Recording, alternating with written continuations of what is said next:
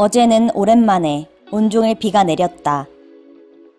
한동안 가득했던 먼지를 씻어주었고 메마른 땅을 촉촉하게 적셔주는 고마운 비였다.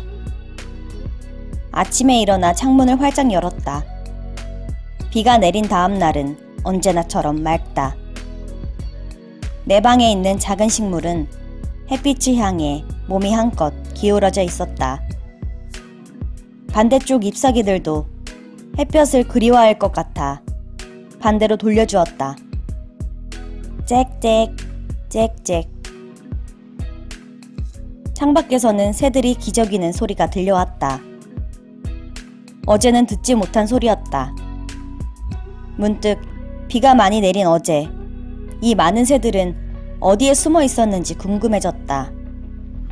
길고양이들은 차 밑이나 지하 주차장 같은 곳에 몸을 피하겠지만 새들은 어디로 숨었기에 비가 오는 날마다 모습을 보이지 않았던 걸까?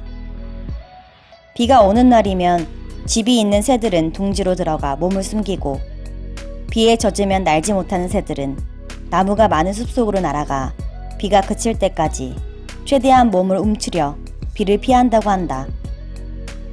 고작 몇 년밖에 되지 않은 그 짧은 수명에 온종일 비를 피하는 새들의 하루는 얼마나 길고 힘들었을까.